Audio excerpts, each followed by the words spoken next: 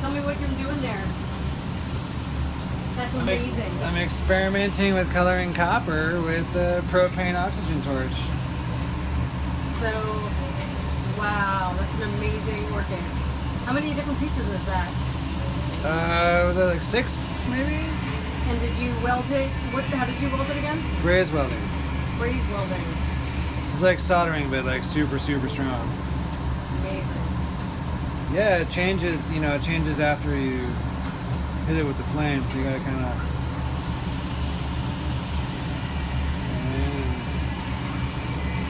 Incredibly and then it just changes. Yeah, it's pretty cool. I saw it on the internet.